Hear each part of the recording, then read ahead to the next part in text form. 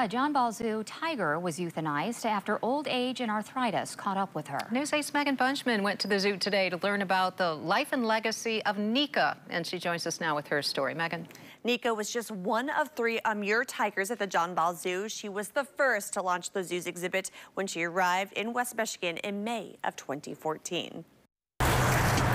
The zoo community is mourning the loss of Nika, a female Amur tiger this week who died at the age of 18. Nika's missed already, I and the staff really grew to love this animal and uh, really formed a really strong bond with her. Exhibit curator Tim Sampson says Nika was not only the zoo's first tiger, she was part of a major conservation effort, having bred four cubs during her time in Lansing before coming to West Michigan. In the 1940s, it was estimated fewer than 100 Amur tigers existed in the wild.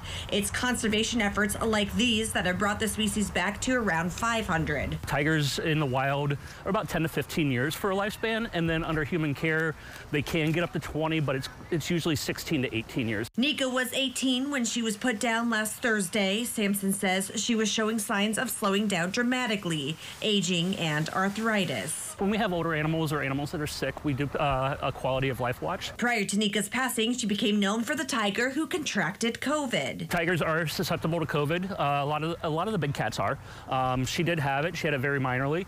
Um, fortunately, uh, the Amurs um, kind of handle it pretty well. The zoo still has two tigers, a younger male and female, in its exhibit, but Sampson says she became a keeper favorite really quick. She, uh, you know, came from a kind of a standoffish young lady to just the sweetest old lady that uh, I've ever worked with.